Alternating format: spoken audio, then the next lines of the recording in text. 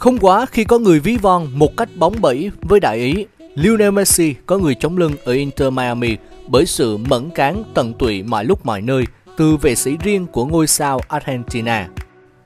Lionel Messi hiện là người nổi tiếng được săn đón nhiều nhất ở thành phố Miami kể từ sau khi ngôi sao người Argentina đầu quân cho câu lạc bộ Inter Miami do David Beckham làm chủ tịch.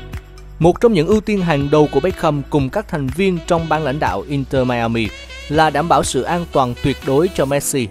Sự xuất hiện của Messi, người từng 7 lần giành quả bóng vàng, quả thực khiến các fan tại Inter Miami nói riêng và MLS nói chung phát cuồng những tuần gần đây. Trong bối cảnh đó, Inter Miami đã thuê một vệ sĩ riêng cho nhà vô địch World Cup 2022. Vóc dáng to con, đầu cạo trọc nhẵn thính, râu quai nón xùm xoàng. Đó là hình ảnh vệ sĩ của Messi khi luôn theo sát tuyệt đối mọi động tĩnh của anh mọi lúc mọi nơi. Messi rời khách sạn, Messi xuống xe buýt, Messi tiến vào đường hầm ra sân. Bất kể lúc nào, người ta cũng thấy anh chàng vệ sĩ to con kia theo sát Messi như hình với bóng. Nhưng vẫn chưa hết, Hình ảnh vệ sĩ riêng của Messi đi lại dọc đường biên như thể tuần tra trong lúc Messi đang thi đấu cho Inter Miami đang khiến số đông fan phải phát cuồng. Chỉ trong thời gian ngắn, hình ảnh này đã được chia sẻ với tốc độ chóng mặt trên mạng xã hội kèm những bình luận rôm rã. Ôi chúa ơi, mắt anh ta lúc nào cũng đảo như răng lạc. Anh chàng này có nghĩa là công việc hay anh ta bảo vệ Messi bằng mọi giá đó là những nhận xét thể hiện sự tán dương của fan với vệ sĩ riêng của Messi. Thậm chí có người còn quả quyết một cách hài hước với đại ý.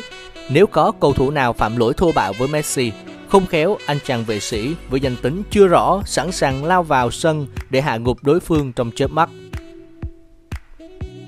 Chớ có dại mà động vào Messi Lionel Messi đã trở thành nhà vô địch League Cup 2023 với Inter Miami trong niềm vui hân hoan vô bờ bến của Messi, không thể bỏ qua một người đặc biệt đồng hành cùng siêu sao Argentina theo cách không giống ai, kể cả trên sân cỏ. Đó không phải là huấn luyện viên hay đồng đội của Messi tại Inter Miami, mà chính là vệ sĩ được Inter Miami cử theo sát để bảo vệ Messi. Cao lớn, vạm vỡ, đầu cạo nhẵn thính để râu quai nón và luôn mặc bộ đồ quần áo màu đen của Inter Miami – đó là những nét phát họa về vệ sĩ của Messi. Theo tìm hiểu, vệ sĩ của Messi có tên Justin Techuco, vốn xuất thân là một cựu lính đặc nhiệm của quân đội Hoa Kỳ. Justin từng tham gia vào một số chiến dịch đặc biệt ở Iraq và Afghanistan trong thời gian tại ngũ. Ngoài ra, Justin còn là một chuyên gia chiến đấu, cụ thể là môn võ tổng hợp mà anh theo tập suốt thời gian dài. Chính điều này đã giúp Justin có được bản lĩnh và phản xạ vô cùng nhanh nhẹn và linh hoạt. Trên thực tế, có anh chàng fan cuồng đã phải no đòn khi bất chấp mọi cảnh báo từ Justin khi sòng sọc lao vào chụp ảnh bằng được với Messi.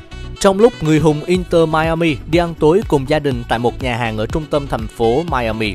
Chả trách, có người sau đó đã nhận xét tốt nhất là đừng có chạy mà động vào Messi khi Justin đang làm nhiệm vụ.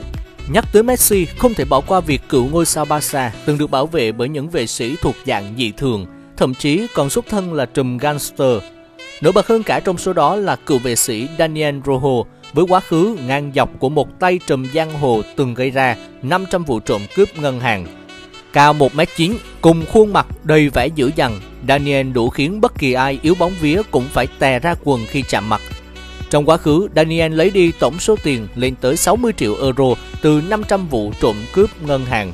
Daniel bắt đầu gia nhập giang hồ từ hồi 16 tuổi sau khi dính vào ma túy sau hàng loạt vụ trộm cướp ngân hàng và bị cảnh sát Tây Ban Nha truy nã gắt gao, Daniel trốn sang Colombia và bắt tay với trùm ma túy khét tiếng Pablo Escobar.